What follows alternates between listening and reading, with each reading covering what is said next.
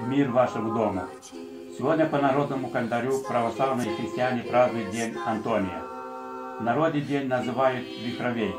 По церковному календарю православная церковь сегодня чтит память преподобного Антония Римлянина, новгородского чудотворца, преподобных Исаакия, Дармата и Павства, святого мученика Рождена Перса, первомученика грузинского, преподобного Космы Отшельника, священномученика Вячеслава Луканина, диакона, священномученика Николая Померанцева, пресвитера и другие православные святые, имена которые вспоминают в этот день.